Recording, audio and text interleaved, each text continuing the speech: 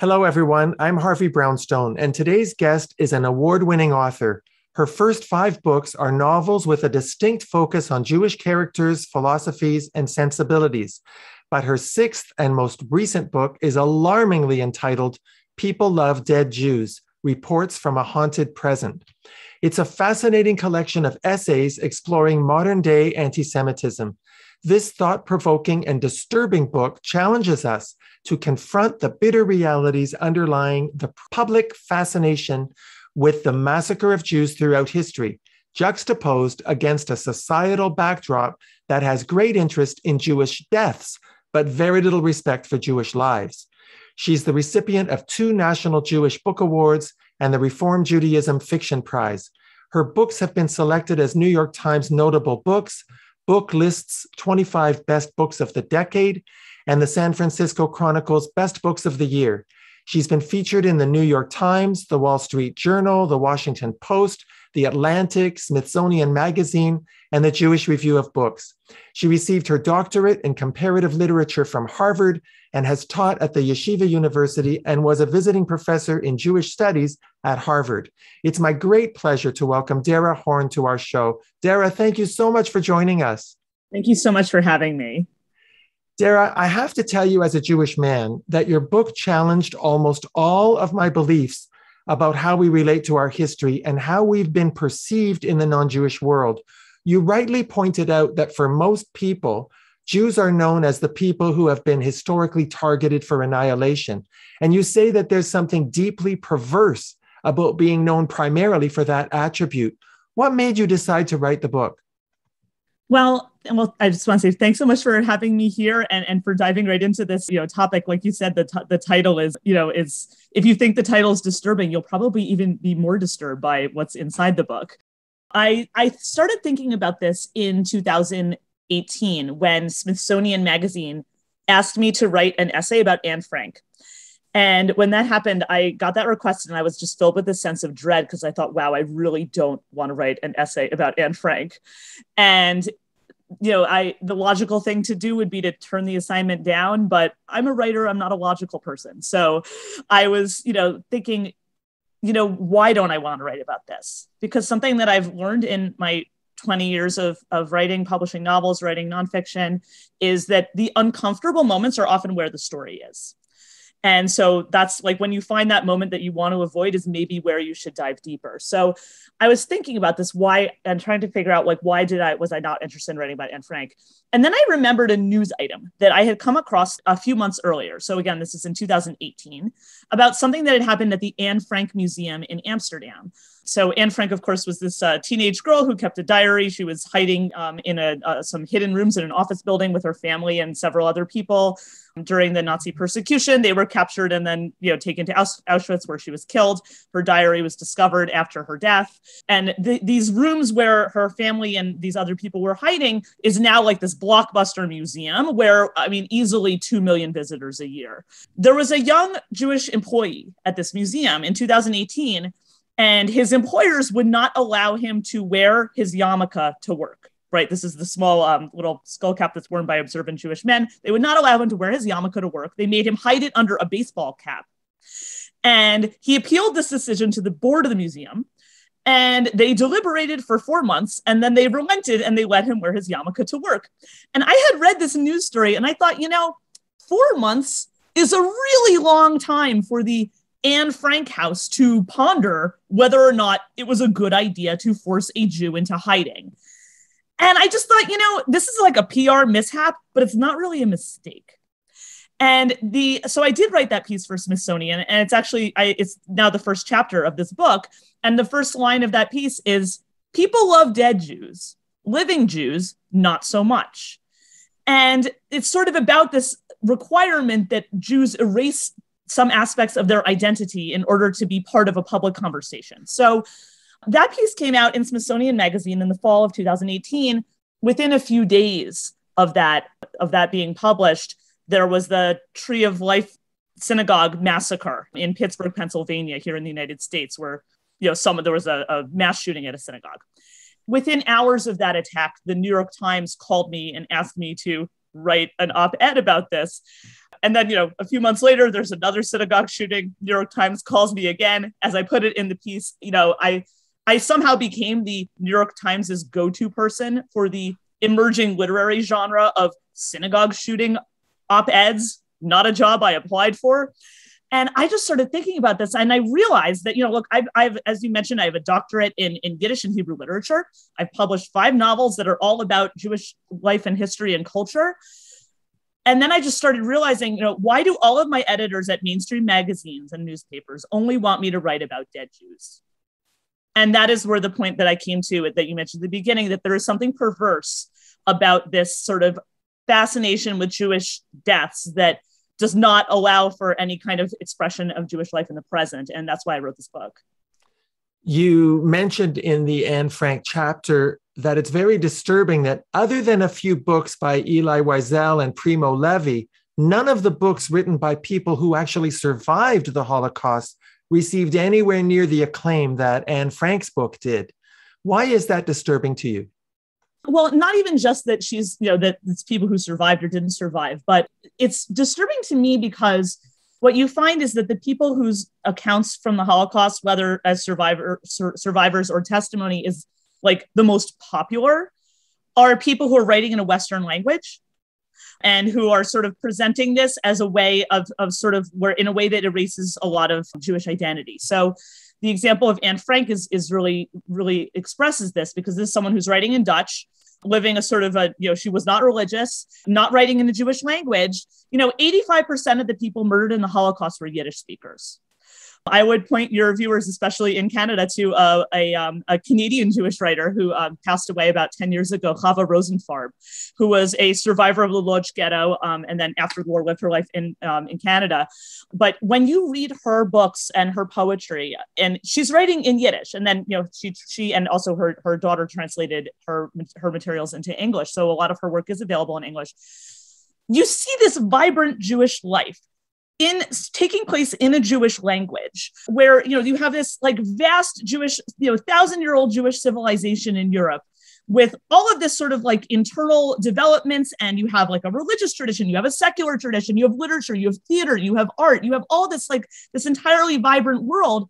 That's what was destroyed in the holocaust right? I mean today there are still plenty of people who are you know living a Western language, living in these Western countries, participating in, you know, like Dutch culture didn't die in the Holocaust, but, you know, Yiddish speaking European culture did.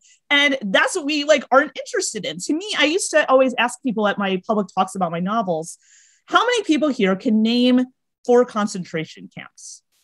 Yeah, that's something a lot of educated people can do. But then I would ask those same people, how many of those same people can name four Yiddish writers? As I mentioned, 85% of the people killed in the Holocaust were Yiddish speakers. This is a famously literary culture. Why do we care so much about how these people died when we have zero interest in how these people lived?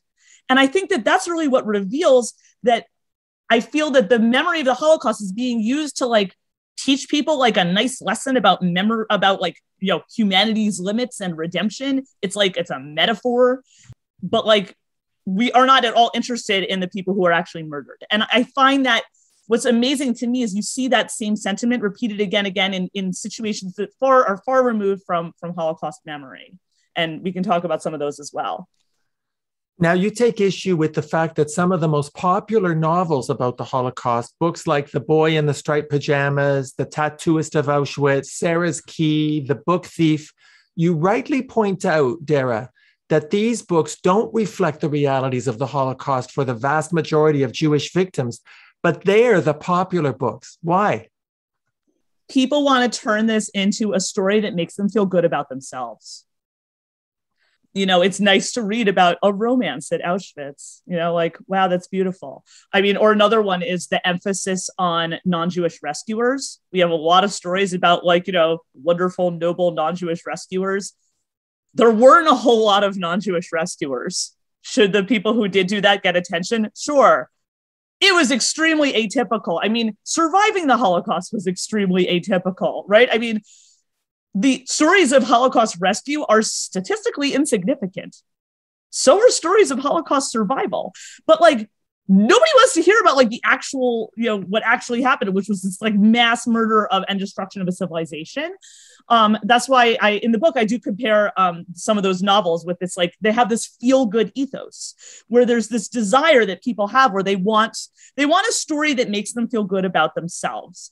Um, to go back to the Anne Frank example, um, I think the most glaring example of this is from Anne Frank's diary, the most popular line in that diary, the one that's like on the book jacket on the wall of the museum, is where she says, You know, I still believe, in spite of everything, that people are truly good at heart, right? Like we find that line inspiring, by which, of course, we mean it flatters us, right? It makes us feel forgiven for lapses of our civilization that allow for piles of murdered girls. You know, and so like you know we turn this into this like oh look this murdered jewish girl has offered us grace right but the reality is much simpler. You know, Anne Frank wrote that line about people being truly good at heart three weeks before she was arrested and deported to Auschwitz. And you know what? When she when that happened, she met people who weren't truly good at heart. Right. I mean, literally, she wrote this line about people being good at heart three weeks before she met people who weren't. And like that's the story that nobody wants to tell. So, and I see that um, I, I think it has there's a narrative arc that we expect in Western literature where we want this redemptive ending. And what I find really interesting is, and I talk about this in the book, is when you read literature in Jewish languages, like in Yiddish and Hebrew, there isn't that expectation of this redemptive arc. Instead, the narratives are much more structured around the ideas of endurance and resilience.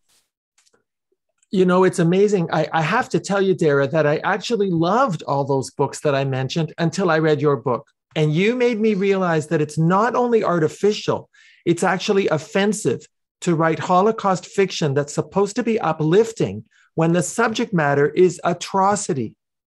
Yes, correct. And I think that there is something that is there's an that that's there's this expectation and this is what i talked about about um, jews erasing themselves in order to participate in a public conversation it's like you cannot be angry about this um, I give the example in the book of Elie Wiesel, who you mentioned earlier. Elie Wiesel's book Night, which you know is a book that you know a lot of people read um, about his experiences in concentration camps. Um, you know, that book originally was published in Yiddish. And in Yiddish, the title of the book was And the World Was Silent. And it was tells the same story, but it is full of this anger at the nations of the world that allowed this genocide to happen.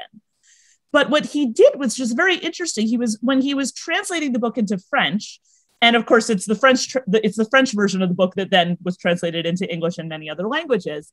It's not a translation it's an adaptation. And he worked with uh, the french catholic nobel laureate francois mauriac. And what he did in that translation or uh, really as i said adaptation is he shifted the sort of the blame for the situation if you will from a political anger to a theological anger. So he turned this like, you know, instead of being where were the nations of the world, that book is like, where was God? Like, you know, because and and it was in a sense it was a very canny decision because if you're writing this for you know a French audience in 1958, you know, for a reading public that was you know in many ways complicit in this massacre, right? Like those people don't want to read about you know how they're responsible, right? Better to blame God, right? We can all get behind that, you know. what I mean, you know, and that's you know, and that sort of is um, I think the problem is, you know, that there, there's an anger that people are, are unwilling to accept. Um, you know, and that's there's this requirement that one be polite and that one make other people feel comfortable. And that's what I'm pushing back against in this book. You wrote about a little known American journalist by the name of Varian Fry, who ran a rescue operation in Vichy, France to save 2,000 Jewish artists, writers, professors, and great philosophers from the Nazis. You said there was an alarming lack of gratitude among the people that he saved. When you look at the gratitude expressed by the people rescued by Schindler and Raoul Wallenberg, why do you think the people saved by Varian Fry were so ungrateful? Um, I think there's a, a, a, few reasons for that. So I want to clarify. So Varian Fry's um, rescue operation, it was not just like to rescue Jews although many of the people who rescued were Jewish, many were not. It was really to rescue um, like these, it was like this A list of intellectuals and artists and writers and thinkers um, that was compiled by a lot of American intellectuals and, and sort of cultural elite to rescue these you know, persecuted dissidents, basically, many of whom were Jewish, many of whom were not. Um, so, you know, he had these like A-list celebrities who then after the war would not give him the time of day. So uh, we're talking about, you know, Marc Chagall, who he like not only like got him a visa. It was this wasn't just like here's your visa. He was like smuggling these people over the pyrenees mountains into spain. I mean this was like an underground operation. They were being arrested all the time. They were being bugged by the trailed by the vichy police. Um, i mean this is someone who really risked his life to save these people. Um, you know, a few years after the war, he approaches Marc Chagall and asks him, you know, to donate um, a lithograph for a project he's doing to raise money for other refugees. Marc Chagall's like, nah, don't feel like it. No thanks. Right. And this is, and it happens again and again with many artists. Um, Andre Breton, who is not Jewish, but is, you know, a, a major uh, French surrealist writer. Um, you know, Marcel Duchamp, Max Ernst, right? These are like, you know, major writers and artists of the time they don't want to give him the time of day. And so, you know, as you mentioned, so like some of these people like Raoul Wallenberg or Oscar Schindler, like did maintain relationships with the people they rescued. Um, I think there's something different in his mission. First of all, I mean, he's rescuing a bunch of celebrities who, you know, maybe are divas and are not very nice people. That could be in some cases, but it's also something else. Um, gratitude in a lot of cases is what makes you hate someone because they have revealed to you that you couldn't do it yourself they've revealed your weakness. And so I think for a lot of people, especially the more sort of independent, successful people, um, you know, the more competent, successful, and independent you are, the less willing you are to be grateful to someone else because what that person has done is they've revealed what you couldn't do on your own. And so I think that that I think was made it very difficult for these these rescued intellectuals to ever. I mean, oh, another one is Hannah Arendt, who spent her whole life writing about totalitarianism and and and you know exactly these issues. Never once acknowledged in any public word that she was rescued by this person. Even when she heard this person being publicly insulted, would not defend him. So very interesting idea. But what I think, what I really get into in the book, though, also is, you know, Varian Fry himself not only is ignored by all these celebrities that he saved, but also like, you know, lives a life of not just obscurity, but really suffering. Um, I mean, his life kind of fell apart after he came back from this trip to Europe. I mean, he, he like couldn't keep a job. I mean, he, you know, he had two heart attacks, died as a fa- fairly young man. Um, you know, and it's sort of like, you know, he never got any kind of recognition for what he did. And what I thought was sort of interesting is that, you know, he had been part of this operation where they're like, it was almost its own kind of eugenics operation where they're like, you know, all these American intellectuals being like, who in Europe do we want to save?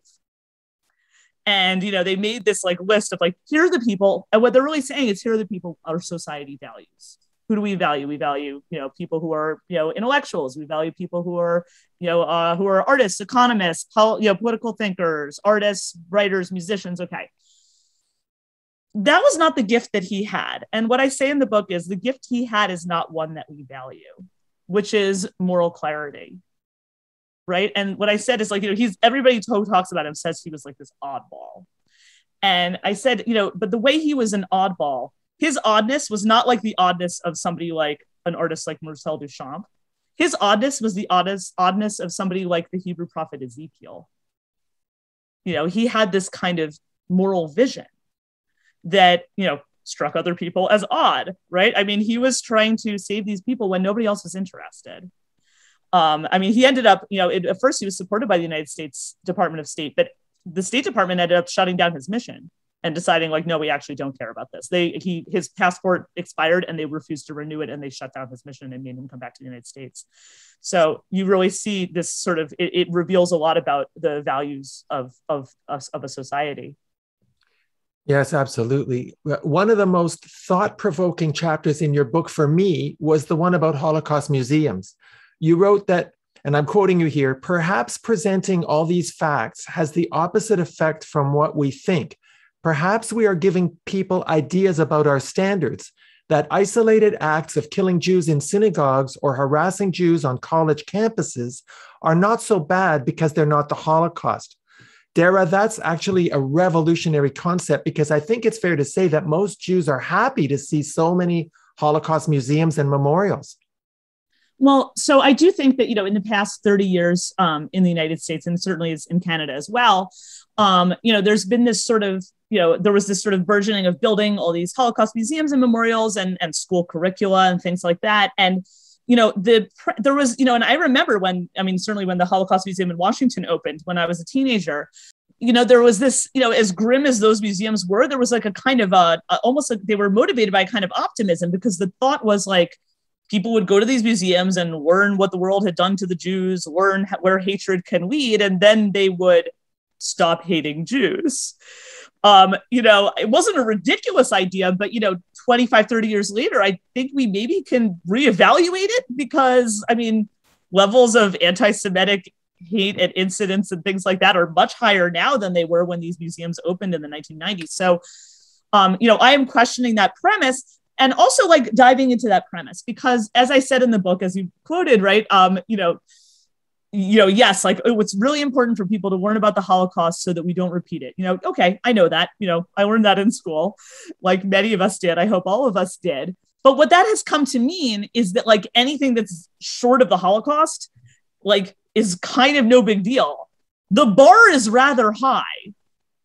Um, and you know what that really has come to mean, it's like, you know, anything short of the Holocaust is not the Holocaust. Like I mentioned, you mentioned the examples of like, you know, harassing Jewish college, college students is not the Holocaust. You know, trolling Jews on social media is not the Holocaust. You know, shooting up a synagogue, oh, that's a lone wolf. It's not systemic. It's not the Holocaust. Like even as I mentioned later in that same passage, you know, um, how about you know driving entire Jewish communities out of entire countries and seizing all their assets, which is what happened in like you know almost the entire Islamic world in the mid 20th century. Also, not the Holocaust. Like I'm like it's kind of impressive how many things are not the Holocaust, and this goes back to this premise that I mentioned earlier. People tell stories about dead Jews that make them feel better about themselves.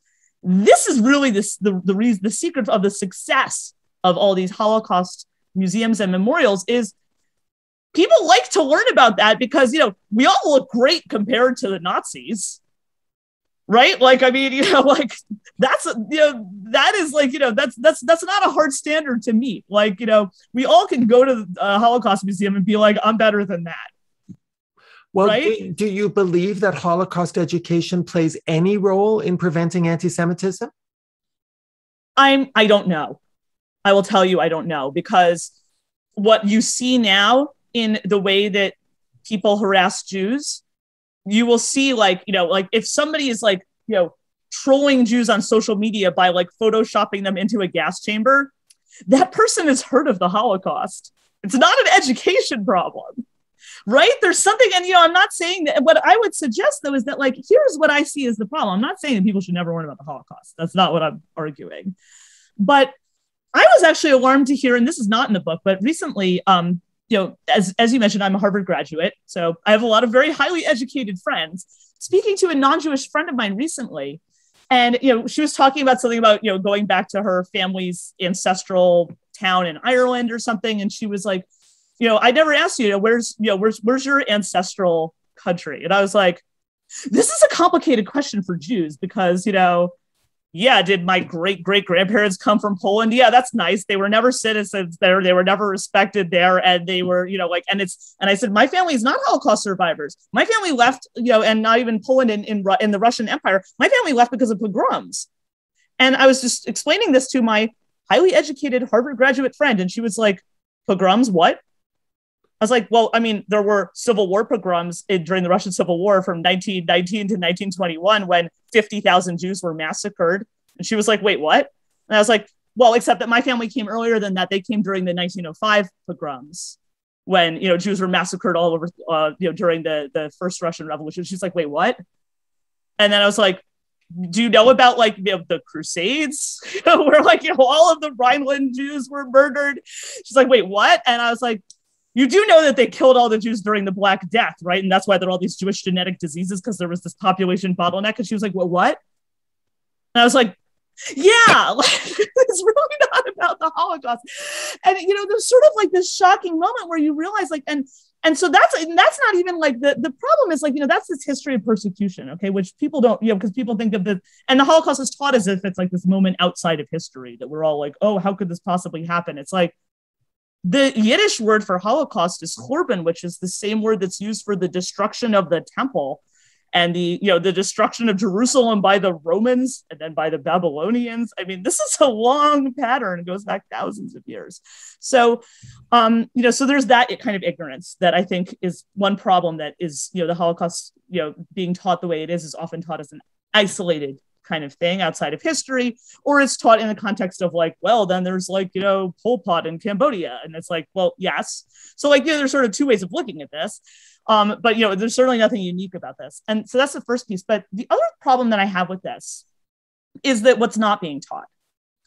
And this is what the book opens with this, which is um, that there are many people in the world who have only encountered, as I say, dead Jews basically that for them what they have been taught in their very well intentioned education is that jews are people who were murdered and we're supposed to learn something from them being murdered. And that's why it's like it's kind of like a nice little lesson about humanity.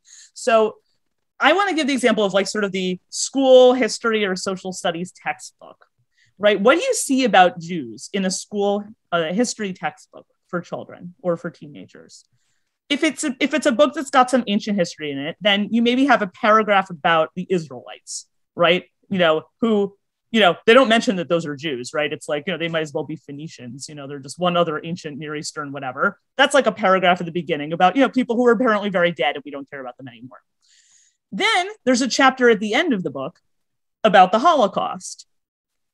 Well, think about what would happen if you actually taught people about the role of the Jews in Western civilization. You know, what the astonishing thing about Jewish history is that Jewish history is this, Jewish culture is this counterculture that runs through the history of the West, right? And it sort of is at every moment, sort of, first of all, is the foundation of, of, of Western civilization in terms of Christianity and Islam. But second of all, is also a kind of a, a, constant challenge to Western civilization that runs through all societies and contradicts so much of what we think we know about world history. Um, I'm going to just finish this, this my little rant about this by mentioning something that has happened to me with my children.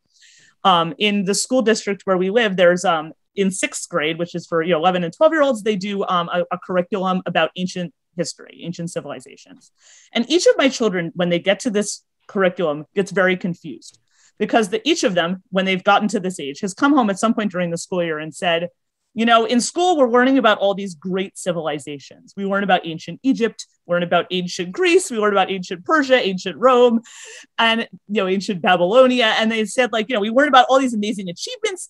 And then at home, we have, for each of these ancient civilizations, we have a holiday about how they tried to kill us.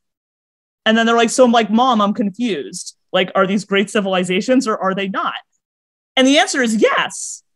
Like, yeah, ancient Egypt achieved great things and amazing engineering feats, feats, and they did it with slave labor, right? This is sort of like, I think if you in- introduce Jewish history into Western history, it really upends and challenges a lot of what we think. And I think what broaden the conversation in a way that we're looking for today when we talk about how we want to um, include more diversity in education. Yeah, that's really that's a fascinating point one of the most surprising things I learned from your book is that the story we've heard a thousand times about Jewish immigrants' names being anglicized and changed by the immigration officials at Ellis Island is a complete myth.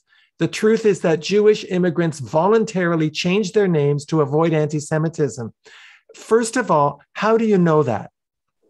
Well okay so this is this is not you know a, a, lot of people have approached me being like you know oh how can you prove this? This is not like a state secret you know like when you go to the ellis island museum they announce it on public tours. They're like a lot of people have this mythology about that you know there's some clerk who changed your family's name. It never happened. Nobody here ever wrote down anyone's name. Ellis island they got the names from people from manifest the ship manifest from the shipping company. Those were compiled at the port of origin at the port of origin, this wasn't happening either because there they were compiling it from state issued documents the same way we would today, like passports and things like that. Um, you know, and you know, and also if they made errors on those, they were very careful not to make errors because anybody who was imp- um, improperly documented once they got to Ellis Island had to be shipped back to Europe at the company's expense. So, like, you know, that kind of error is going to cost somebody their job. So nobody's doing that. So, but also, if like I said, nobody at Ellis Island is writing down people's names. Even if that weren't true, which it is, we have tens of thousands of court records in New York City civil court of immigrants of it's not even immigrants a lot of them time it's children's of children of immigrants changing their own names. Um, and when you look through so this is not my research. I want to credit kirsten Fermaglich, the um, historian who wrote a book called a rosenberg by any other name about jewish name changing in the united states. Um, and i'm sure there are similar patterns in canadian in uh, Jewish immigration to Canada as well. Um, she tracks these court filings and she says, like, Jewish sounding last names are like 90% of the names that are being changed. She's like, you look through these court records and it's just pages and pages of Cohens. And to me, what I thought was fascinating about this mythology is, as you said, you're like, how do you know that's true? People really want to believe this story. Because whenever I've spoken about this publicly, like people get mad at me. You know, if I write about it, it's all over the comments. Oh, my great grandfather's the exception. My he wouldn't lie. You know, um, you know, when I, I get pilloried at public talks when I bring this up, this legend is doing emotional work for people. And the emotional work it's doing is it is hiding American anti Semitism. Because these people changed their names not because they like wanted to cast off their Jewish identity, because a lot of these people they continued living in Jewish neighborhoods, they still were members of synagogues. They say well, it's not like they were pretending not to be Jews. They couldn't get a job, right? Like their kids were being bullied in school like you know they couldn't go to professional school they couldn't rent an apartment right i mean these were basic life things that were realities that were staring them in the face and i think that they those people kind of did their descendants a favor by creating this legend right? Which you know has that legend has sort of led people like you know my age to believe that like oh american anti-semitism never happened. And then that's why of course we're always surprised when that sort of thing comes up again. So these immigrants who changed their names because they wanted to avoid anti-Semitism, yes. they perpetuated the myth that their names were changed at Ellis Island so they could convey to their kids the impression that America was welcoming and not anti-Semitic. Yes. And, and then the Ellis Island name change becomes just a humorous anecdote. Yes, and there's and I think that you often see that in in American Jewish culture and perhaps in Canadian Jewish culture as well that the humor is kind of used as a mask to hide something that you don't want to talk about. Now I got to tell you Dara, this part of the interview is hard for me. The chapter of your book that really hit home for me is the one about the Merchant of Venice. Hmm. I was the only Jew in my high school, and we had to study the Merchant of Venice in grade 10 English class. And the teacher went to great lengths to explain that the play is not anti Semitic. But you wrote, and this has really been very healing for me. You wrote that we've all been gaslighted in a perverse historical mind trick, justifying the humiliation of the Jewish people. Now, given the recent proliferation of cancel culture, are you surprised that The Merchant of Venice is still being taught in school? I mean, you know, like I want to be clear, like I'm not suggesting that like you know we cancel Shakespeare. Like that's not where I'm not where I'm going with this at all. Um, but I think it's interesting. Let's put it this way: Shakespeare wrote a whole lot of plays. This is like one of the seven plays of his that is most often read and performed and studied in schools. I find that remarkable. And as you said, that as I mentioned in the book, it is there has been this like you know gaslighting that has been that has gone on to sort of convince english speaking jews that this is actually awesome and the way i express this in the book is it's actually kind of a, a, a kooky thing that happened which is that i ended up for for reasons that are not worth explaining uh, um, in this interview because it would take too long and it's ridiculous but um, I wound up listening to a BBC like radio production with uh, of Merchant of Venice with my 10 year old son. Um, we had a long commute um, yeah, as I said, we ended up, he insisted on listening to this play. And what was amazing to me is that, like, before sharing this with him, I was sort of like remembering the same thing as that that you mentioned, um, Harvey, about your experience in you know in high school, where like you know the teacher's like, oh, you know, it's not anti-Semitic, it's just a product of its time. It's so much better than Christopher Marlowe's, you know, The Jew of Malta, where the guy talks about how he's poisoning wells. I'm like, well, that's a low bar right? I mean, you know, and oh, look, you know, Shylock has this monologue where he's like, you know, hath not a Jew eyes, hands, organs, dimensions, you know, like this is like, you know, this like monologue, which by the way is like about a paragraph, which like every English speaking Jew is like expected to take as a compliment. And I shared this play with my son, who's 10 years old at the time. This is a couple years ago. Now he's 12. Um, who's 10 years old. And, you know, I had to keep hitting you know hitting stop and explaining you know the language and things like that it's just sickening how many things that it's like you know you're sitting there explaining to a 10 year old like what does this line mean certainly the jew is the devil is the devil incarnal You know, you're sitting there explaining to a 10 year old a line like, the Hebrew will turn Christian. He grows kind. Um, try explaining that to your 10 year old son. But then the amazing thing to me was, you know, that we got to this monologue that, like, you know, makes it all okay, where, you know, and I like, you know, and I explain this to my son. I'm like, this monologue, it really changes the way you think of Shylock. It makes him more human. And I play this monologue for him. And my son is like, wait, that's the part that makes him more human. And I was like, yeah, he's talking about how he's like, you know, just a regular person with regular feelings. And then my son laughs at me and he's like, Mom, this is the evil supervillain monologue that every evil supervillain does in every Marvel movie, right? Like, I've had a rough life, and if you were me, you'd do the same thing. So, you know, that's why I'm gonna go, you know, kill the hero. Ha ha ha ha. Right. And he even says, and I, you know, at the end of this that monologue, he talks about like how, oh, this is why I want revenge. Like, this is absurd. And you know, what's shocking to me was like, you know, I'm a person, I have a uh, I'm a Harvard PhD in comparative literature. And I was gaslighted by this, right? I mean, like, you know, I don't like, you know, it's like, I'm aware that Shakespeare's work has many layers and many nuances. However many layers it has, this is one of them. And we're pretending that it's not there. That to me is amazing because, you know, I was in those high school English classes too. I remember reading Othello, another very problematic play from our point of view now in a in racial and multi, you know, in multi-ethnic society we talked about those problems in Othello, right? Like we talked in the English class about the role of race in Othello, etc. But then it's like in Merchant of Venice, it's like you said, like, oh, it's just a product of its time. It's really a critique of capitalism. It's like, is it? No, it isn't. Um, so yeah, and as I said, I feel like Jews, and it like was upsetting to me was that like Jews have been asked to participate in their own humiliation right? You, as the student in the class, are expected to be like, oh, yeah, it's just a product of its time. It's like, well, that's not the way we're talking about Othello, right? That's not the way we're talking about, you know, the taming of the shrew, right? Like, yeah, there's a lot of things in here that are a product of its time, but then why are we still reading it? And not just why are we still reading it, but why are we pretending that this isn't a problem? That's the piece. It's not, and my problem is not that we're still reading it because I'm not in favor of any kind of cancellation or you know that's that's not the argument i'm making i just want to know like why are we pretending that the problem isn't there? Yeah exactly. I, I tell you the more i listen to you the more i want to go back and read the book again because i'm just getting so much out of it and out of what you're saying.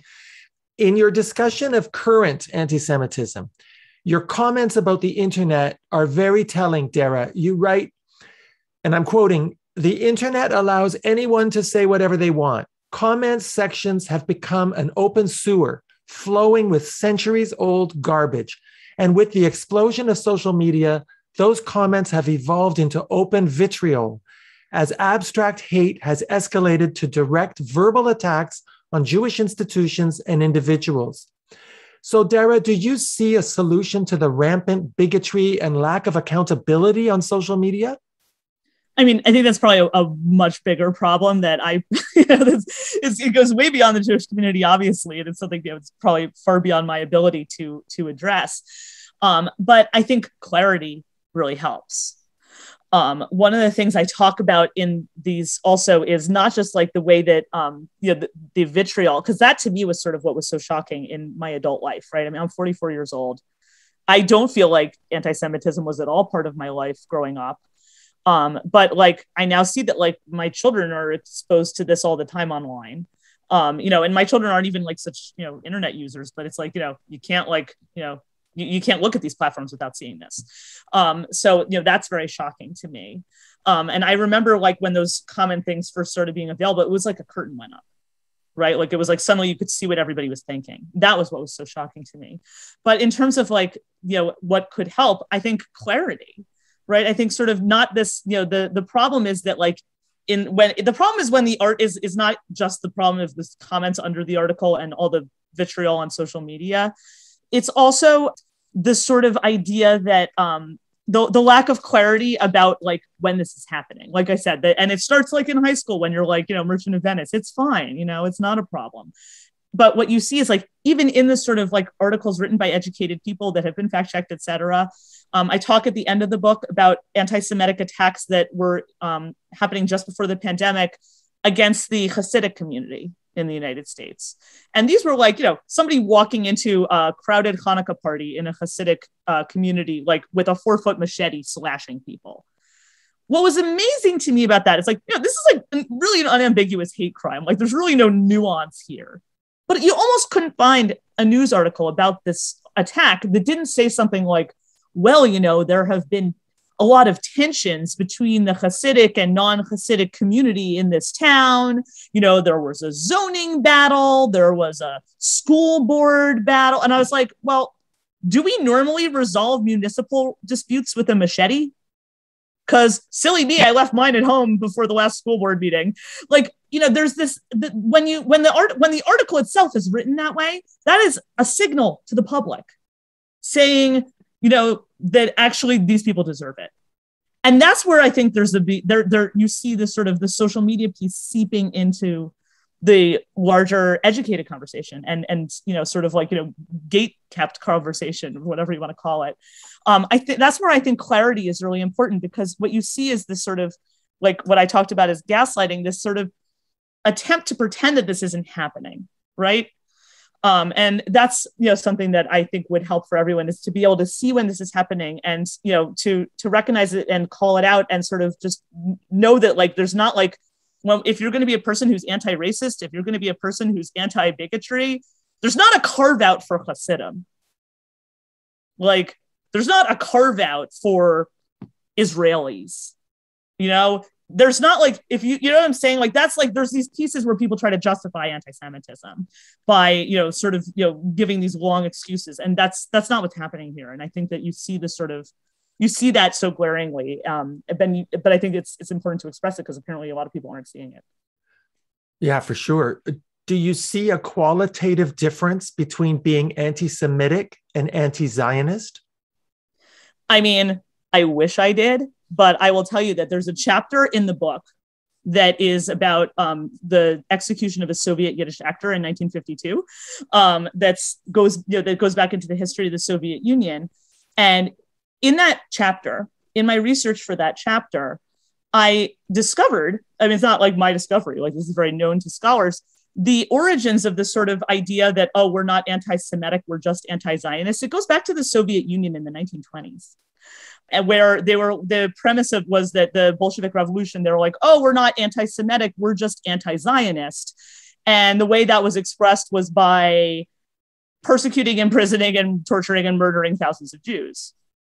You know, and so I mean, that was you know when they were they were only anti-Zionists, right? So like if you were speaking Yiddish, it was fine. It was just if you were speaking Hebrew that they murdered you, right? Well, within a generation, then the Yiddish actors were also being murdered because you know they were part of a Zionist plot to destroy the Soviet state. Spoiler alert: there was no there was no Zionist plot to destroy the Soviet state. This is part of the gaslighting. You know, are there conversations to be had about you know politics in Israel? Yes. Is that is is that what's happening when a teenager on TikTok posts Shabbat Shalom and then thousands of people post Free Palestine? You fill in the blank curse words that's not a conversation about Israeli policy.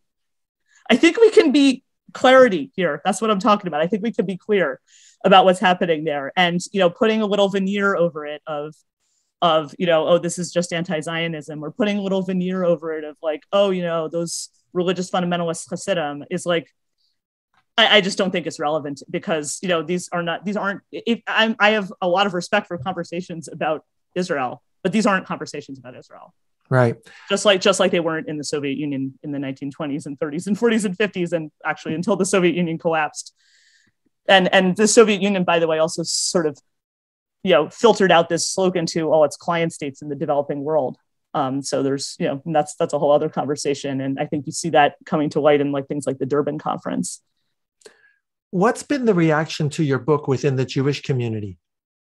So it has been I, have I've actually been kind of stunned because I'm receiving sort of hundreds and hundreds and hundreds of messages, you know, regularly, like almost every day. I'm getting many, many messages from readers, from and and a lot of them from Jewish readers, from every possible walk of life, like old people, young people, religious people, secular people, people who you know aren't Jewish, but you know maybe have some Jewish relative or something, who are all saying, "I have experienced this my whole life and I never had the words to express it, or I felt uncomfortable my whole life in these situations and I didn't know that I was allowed to feel uncomfortable.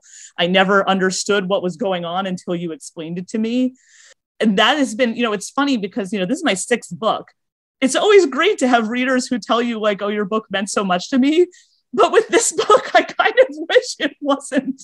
I wish that fewer people thought this was resonant because what that really is, it's been shocking to me because basically it's telling me, you know, yeah, this really is a real problem and everybody is noticing it. Um, and yeah. I've also gotten, you know, quite a bit of mail from non-Jewish readers as well. So who are, you know, and, and also readers who sort of see like, I read your book and this is giving new ways of understanding the way we suppress Native American history, for example. Um, you know, or sort of like, you know, this book has given me a new way of thinking about, you know, the, you know, conversation about African American history. So, I mean, so like, you know, it means, you know, one thing I've learned about publishing books is you write one book and then everybody you're, you're who's reading it is reading a different book than the book you wrote. Sometimes they're reading a better book than the book you wrote, which is very wonderful.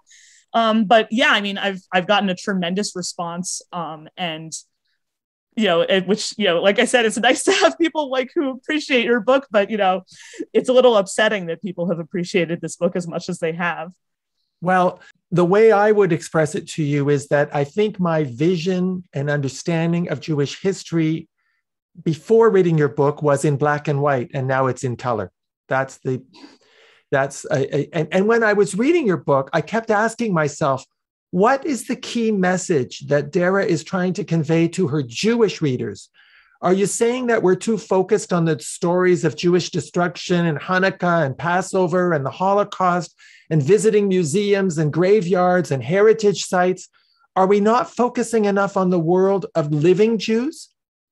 Well i think that that's true really for you know for the the that was really sort of my more my message for a broader audience. But i think that you know there are probably uh, but i think that sort of when i say a broader audience i mean there's kind of a spectrum here right? It's not like there's jewish readers and non-jewish readers right? There are readers who have like a profound investment in jewish life and jewish education and there are readers who have no connection to that at all and then there's like a wide range of people in between right who you know maybe are themselves jewish but never really had any kind of jewish education.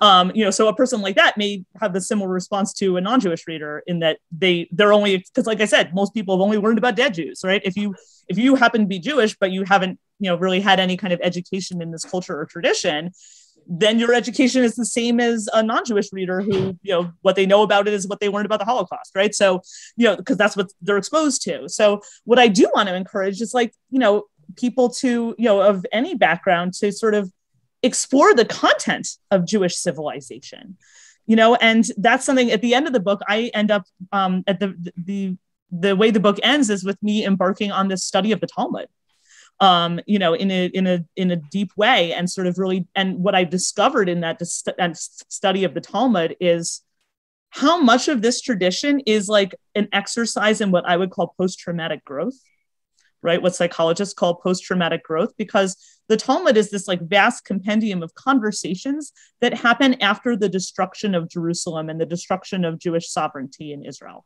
And so, I mean, that was really a place like in the ancient world, like when they like destroy your capital and they kill everybody and they exile everybody, like that's the end. Like you're not supposed to like keep being a people after that. Like that's like when you're done. And that's not what happens to the Jews. Instead, the Jews sort of have this ongoing conversation like, well, our our homeland and our place of worship to God was destroyed. Now what? And that now what is like this open conversation and that's to me what's like so amazing is about the resilience of this tradition and how much it relies on conversation, how much it relies on text, study, um, critical thinking. Um, that's a piece where when I talked before about like, what if we were to weave this counterculture of Jewish life into the history of the West? Um, you know, it undermines a lot of what you think because, you know, in Western history, we think about literacy as being something like, oh, only the nobles and the clergy could knew, knew how to read until, you know, the printing press or something like the Jewish community had, you know, pretty much universal literacy since ancient times because it was important to the Jewish community. So my I would encourage people, you know, readers, you know, Jewish and non-Jewish readers to sort of learn more about the content of this civilization because what's really remarkable about about Jewish history is not that people kept trying to kill the Jews, but that Jews survived and thrived because they had something to live for and so it's worth sort of exploring like what is that thing that the jews are living for? And you know that and i think that's something that can inspire people of of any background. So dara how can readers find out more about your work? Well you know the book is available as we say wherever books are sold. I have a website darahorn.com where you can find out more about me and other public events that i do. But also i want to direct your listeners toward my new podcast which is called adventures with dead jews. It tells different stories from the ones in the book. So if you've already read the book you will get a lot of new it's entirely new material but it's with the same themes and exploring the same sort of problems that i explore in the book. And also maybe it's a little bit funnier. Well, Dara, I must tell you, I found your book totally absorbing Uh, because it challenged everything I thought I believed and understood about how Jews are perceived by the general public and how we as Jews contribute to those perceptions. Thank you so much for writing this book and for taking the time to come on our show to discuss it. Thank you so much for having me. It's, it's been a pleasure to have this conversation. I mean, it, it is, you know, maybe not a pleasure is not the right word for this context, but I'm glad to be able to have this important conversation with you. Thank you. I really am too. Our guest has been author Dara Horn. My name is Harvey Brownstone. Thank you to our producer, Steve Silver. Thank you all for joining us. See you next time. Remember to subscribe to the Harvey Brownstone Interviews YouTube channel. And be sure to check out more great interviews with Harvey Brownstone on harveybrownstoneinterviews.com.